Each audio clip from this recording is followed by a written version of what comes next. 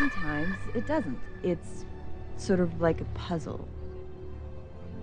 And you're so good at puzzles, I'm sure you'll figure it out.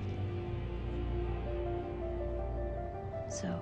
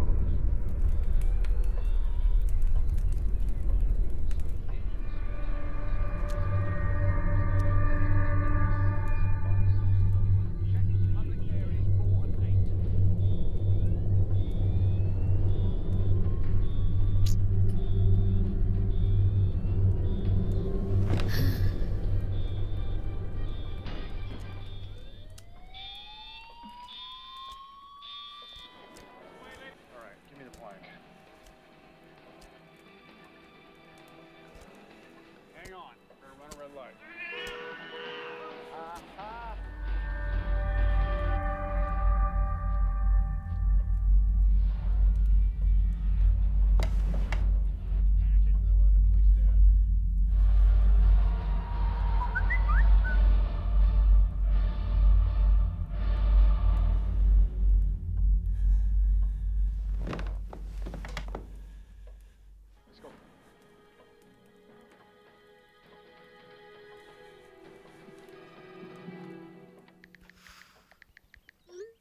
Abigail.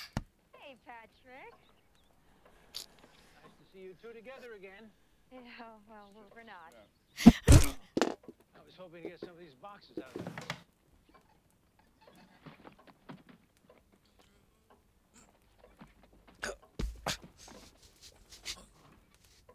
I can't read the whole thing, but I can tell you that these are definitely pre-colonial Native American markings. Easily 500 years old. Easily.